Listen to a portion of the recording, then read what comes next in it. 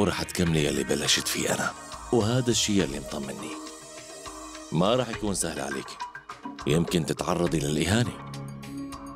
بس أنت رح تتحملي. رغم أنك من عائلة كبيرة وغنية ومعروفة رح تطلعي صغيرة قدام الكل بعد فترة. لا بابا ما حدا رح يقدر يهيني. أنا ما عدت صغيرة هلأ. عانيت إهانات بما فيه الكفاية منهم وهلأ صار وقت إني آخذ قرار. آه أيوة هيك بدي إياك تكون يا بنتي كوكيلا هاد هو السلوك المطلوب مشان تبرد كل النار يلي جواتك أخيرا. ومثل ما قالوا يلي قبلنا القصة ما بتصغر لحتى تكبر.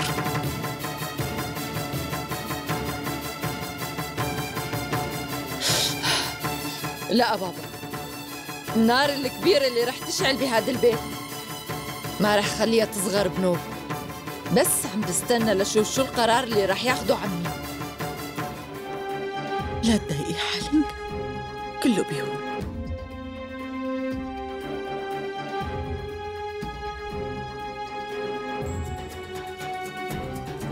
جدي.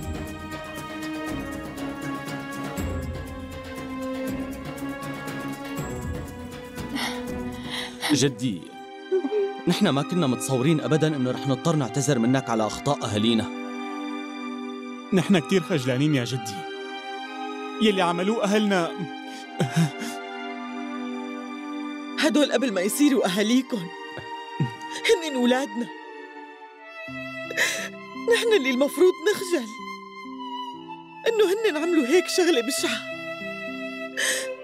أنا آسفة لأنكم اضطريتوا تعتذروا عنه. لا ستي لا تحكي هيك. ما بيهم شو عم يقولوا يا جدي. ولادك مو المفروض إنهم يفترقوا عنك ابدا.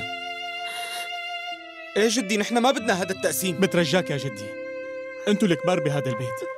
بترجاكم لا تاخذوا أي خطوة عاطفية تبعدكم عنا عن جد نحن بحاجتك يا جدي. نحن بدنا العيلة كلياتها. تبقى دائما مع بعض. إيه يا جدي.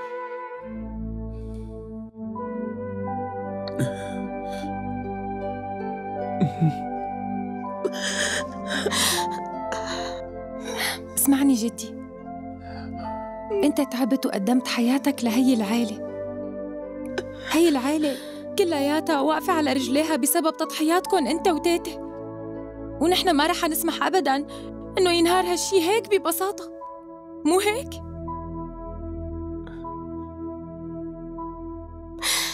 يا جدي نزل التردد الجديد لزي ألوان واحد واحد اثنان سبعة سبعة. الاستقطاب رأسي. معدل الترميز سبع وعشرون ألفا وخمسمائة. معامل تصحيح الخطأ خمسة على ستة.